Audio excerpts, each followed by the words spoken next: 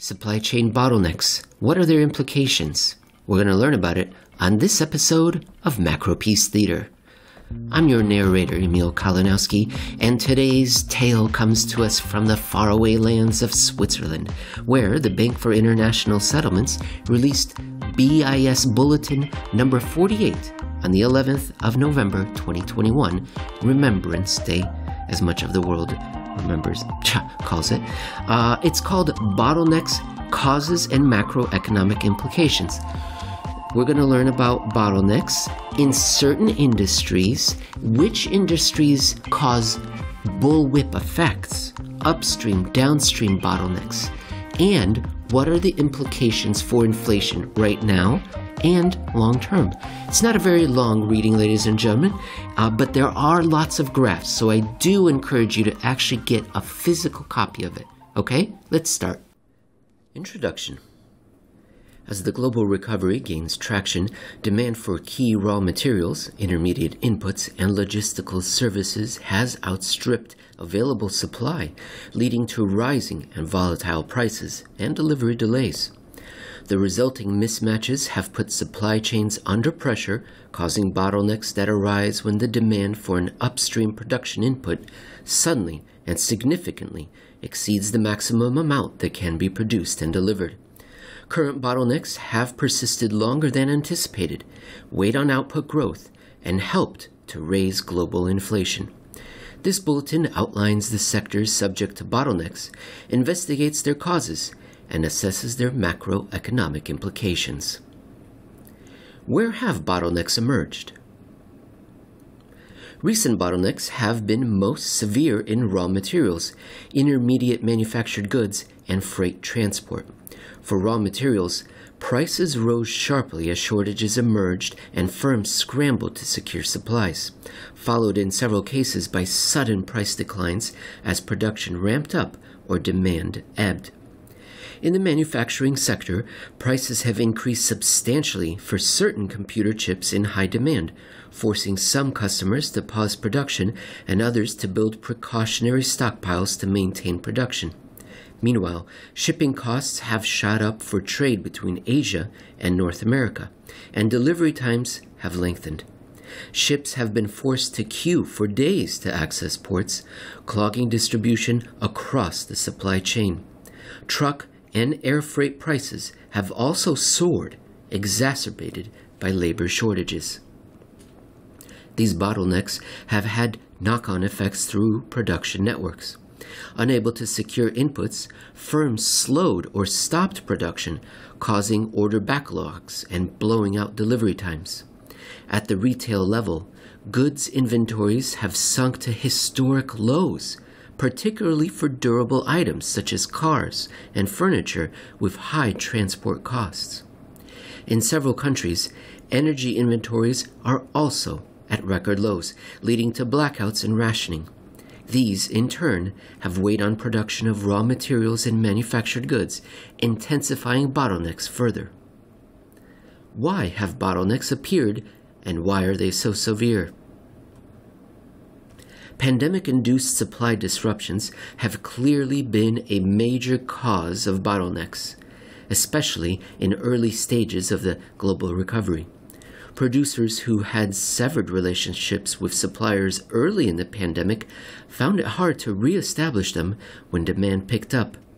Asynchronous lockdowns disrupted shipping, while sporadic virus outbreaks led to further dislocations. But there are also other causes.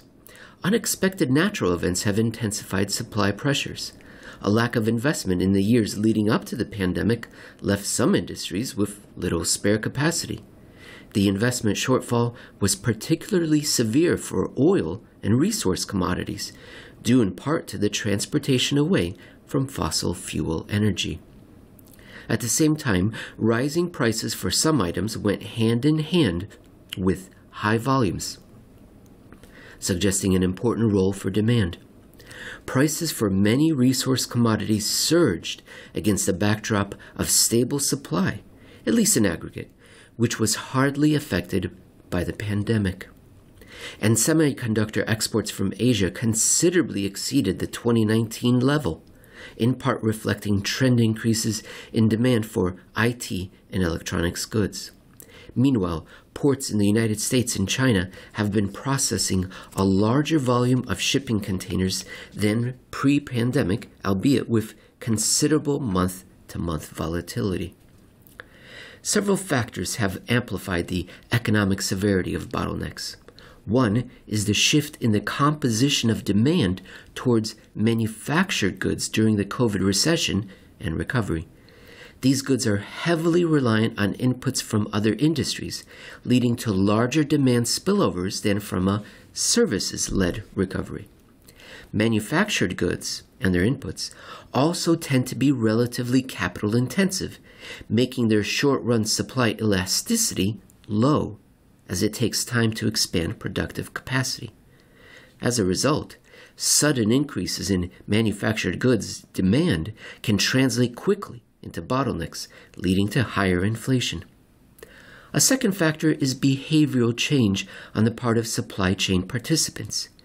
Anticipation of product shortages and precautionary hoarding at different stages of supply chain have aggravated initial shortages, the bullwhip effect, leading to further incentives to build buffers. These behavioral changes have the potential to lead to feedback effects that exacerbate bottlenecks. In this respect, there are parallels between supply chain disruptions and the liquidity stresses in financial markets. A third important background element is the lean structure of supply chains, which have prioritized efficiency over resilience in recent decades. These intricate networks of production and logistics were a virtue in normal times, but have become a shock propagator during the pandemic. Once dislocations emerged, the complexity of supply chains made them hard to repair, leading to persistent mismatches between demand and supply. Nevertheless, persistent bottlenecks could also prompt corrective behavioral changes over time by providing incentives for investment to expand capacity. Once bottlenecks begin to ease, the feedback loops could operate as a virtuous circle to mitigate the bullwhip effects. In this way, just as bottlenecks have persisted longer than initially expected, their resolution could also follow more swiftly than currently feared. Next section macroeconomic implications of bottlenecks. Implications for economic activity. Bottlenecks reduce economic activity by constraining the inputs needed to produce goods and services along the value chain. The severity of these constraints depend partly on whether bottlenecks affect items that are upstream, in other words, at the start of production chains, or downstream, closer to the final customers. One measure of upstreamness is the average number of times an item needs to be transformed before reaching final consumers. Using input output tables, the left hand panel graph number 4 plots this measure for each of the 405 industries in the United States. The production of primary commodities such as oil, gas, and metals is concentrated at the start of production networks. Supply bottlenecks for these goods affect the production of many others. Electrical components, such as semiconductors, appear around one third of the way down the supply chain, while freight transportation typically lies somewhat closer to the final consumer. Bottlenecks in more upstream industries can have particularly large effects. Calculations based on a global input output matrix indicate that the decline in output due to a constraint on the supply of energy commodities or semiconductors is on average three and a half to four and a half the size of the initial impact. Output multipliers for more downstream industries, such as accommodation services, are closer to 2. To put these numbers in perspective, they imply that on average, a 10% contraction in world semiconductor production would reduce global GDP by about 0.2%. The effects could be larger due to the bullwhip effects arising from behavioral changes, and for economies that rely heavily on semiconductors. One analyst estimate suggests that chip shortages could car- cut car production in 2021 by 7.7 million units, all else equal, equivalent to 8% of pre pandemic production. For Germany, where the car industry accounts for 6% of GDP, this would be the equivalent to 0.5% of GDP reduction. Bottlenecks in tradable industries, a feature of the current episode, also have international spillovers. On average, around half of the decline in output due to bottlenecks in energy commodities or semiconductors occurs outside the country of origin. By contrast, the bulk of the impact of bottlenecks in the non tradable sectors, such as construction, does not spread abroad. Adaptation could reduce the impact of bottlenecks. Substitutes for some bottleneck affected items may be available. For example, rising natural gas prices have already seen some electricity firms increase coal power generation. This suggests that the economic impact of energy bottlenecks in Europe and China may not be so severe and may actually provide income gains for producers of energy products when demand increases. Similarly, some firms have started to use air freight to circumvent shipping delays. Ports in the United States have lengthened their working hours to cope with higher demand. However, substitutes are no panacea and may create their own bottlenecks, as in the examples for coal and air freight. And for some goods, like semiconductors, substitutes may not exist, indicating more persistent effects of bottlenecks for countries with large car industries. Implications for inflation. The mechanical effect on CPI inflation from the price increases for bottleneck affected items has been notable in recent months. If energy and motor vehicle prices in the United States and the euro area had grown since March 2021 at their average rate between 2000 blah between 2010 and 2019, year on year inflation would have been 2.8% and 1.3 percentage points lower, respectively. I'm sorry, ladies and gentlemen, I sort of messed that up, didn't I? I'm going to reread it again. They're saying basically if uh, if we didn't have this freak out in energy and motor vehicle prices, how much lower would inflation consumer be in the US and Europe? Let me read it again. If energy and motor vehicle prices in the United States and the euro area had grown since March 2021 at their average rate between 2010 and 2019, year on year inflation would have been 2.8 and 1.3 percentage points lower, respectively. That said, once relative prices have adjusted sufficiently to align supply and demand, these effects should ease. Some price trends could even go into reverse as bottlenecks and precautionary hoarding behavior wane. The mechanical effect on CPI could well turn disinflationary during the second phase. The inflationary effect could be more persistent if wage price spirals take hold. Workers may seek higher wages to compensate for the reduction in real wages, and they might get them especially if ongoing labor shortages raise their bargaining power and reservation wages. Meanwhile, a period of higher inflation could bolster firms' pricing power, strengthening the pass through of costs into prices. And price competition could weaken if the rise in inflation is pervasive across countries, as has been the case, and if global value chains come under strain the chances of a wage price spiral are higher if inflationary expectations become unmoored. Market and survey based wage inf- Jesus. Market and survey based inflation expectation measures have increased in recent months alongside tighter bottlenecks, albeit from very low levels in 2020. It is challenging to identify how much bottlenecks directly contribute to the recent increase in long term inflation expectations. Although the pass through from short run inflation expectations to its long run counterpart has increased. The inflation outlook lastly depends on any forthcoming investment required to address the dislocations. While higher investment boosts dem- The inflation outlook lastly depends on any forthcoming investment required to address the dislocations.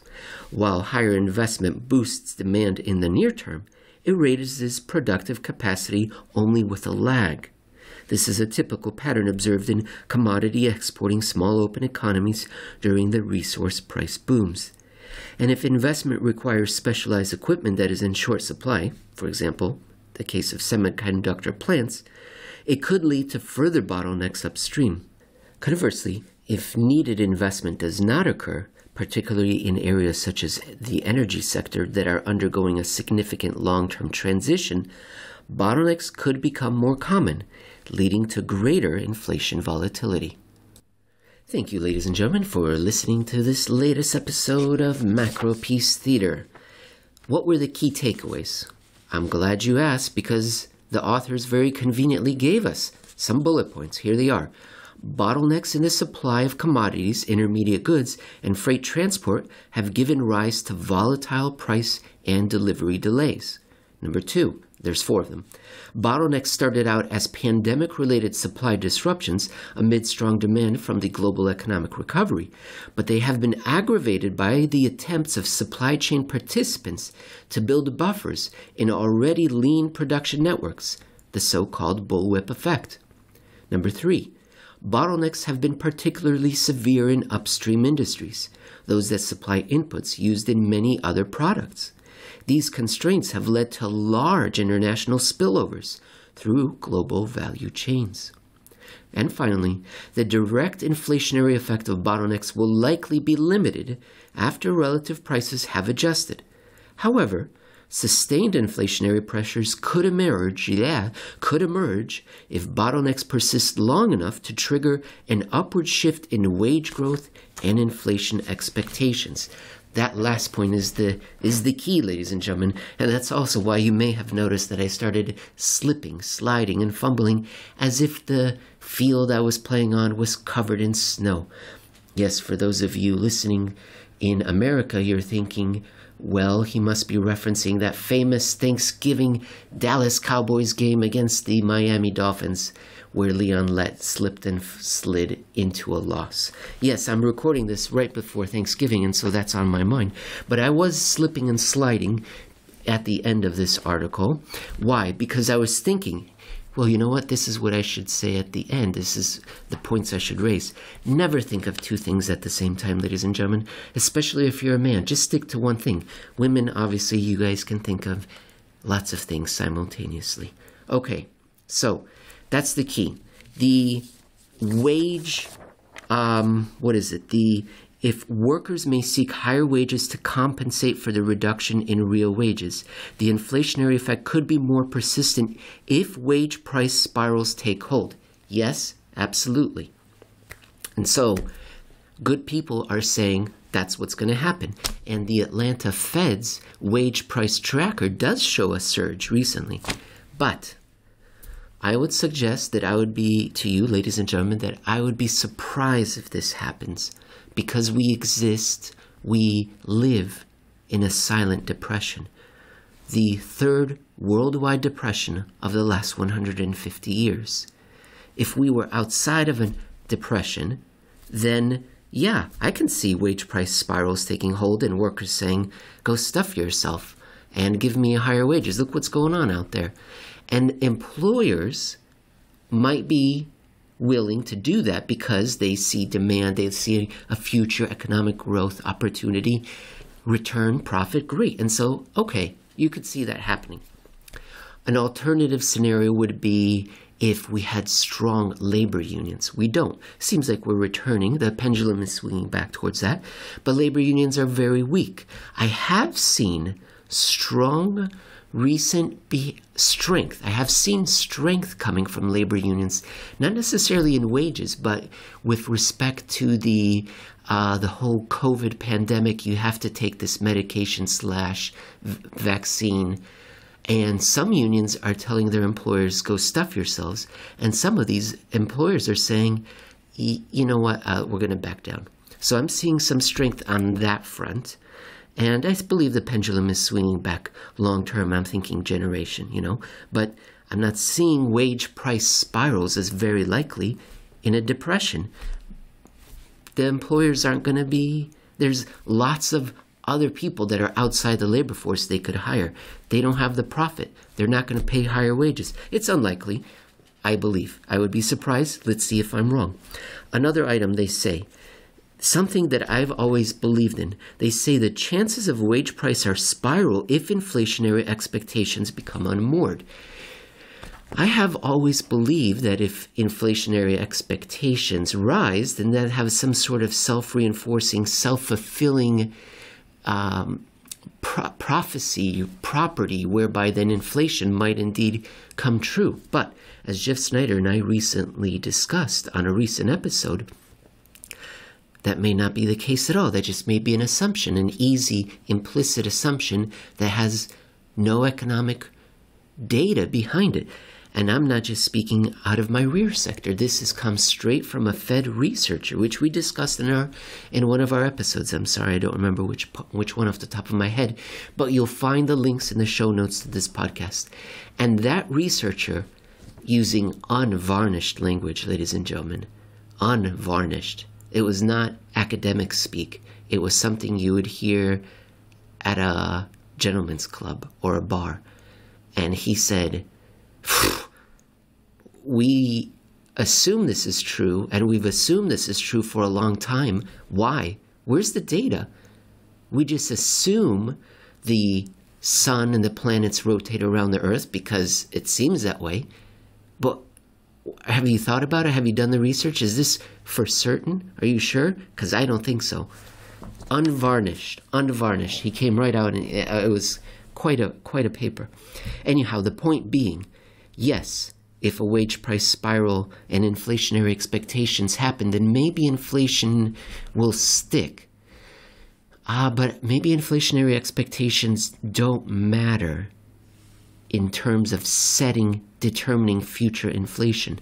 And the wage price spiral isn't going to happen in a depression.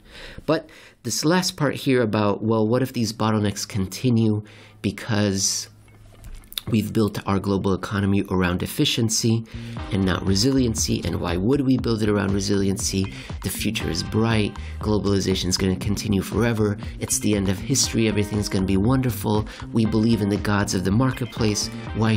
Why would we build resilience? That costs money. What are you, an idiot? So, but that's perfectly natural. Uh, it comes in cycles. We were simply at that cycle point where we had gone too far. It's nothing to complain about. It's what we always do gener- in long multi generation cycles. So, we may have continued consumer price increases due to inefficiency, no, uh, lack of resiliency. But Jeff Snider now would say that's not going to continue that's going to come out of economic activity.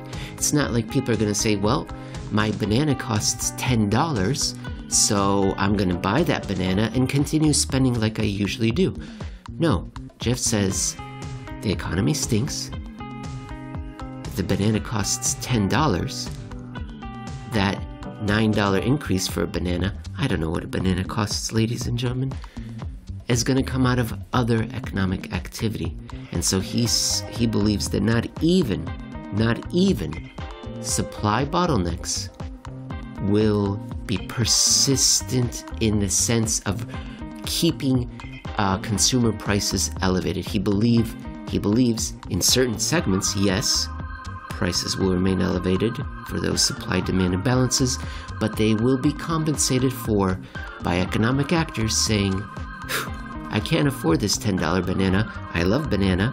I got a cramp in my thigh. I need it. and I'll just take it out of my $9 Starbucks coffee. All right, enough, ladies and gentlemen. You've now had a. You've now seen. I've seen a little insight into the life of a podcaster living on $10 bananas, $9 cups of coffee, and rubbing their thighs because they've got a cramp. Have a happy Thanksgiving. Well, by the time you hear this, I hope you've had a happy Thanksgiving, and I hope you're enjoying that delicious rye bread open faced sandwich with the cold turkey, Dijon mustard, and maybe some cranberry. You know what I'm saying? A little bit of that cranberry stuff. Oh, yeah.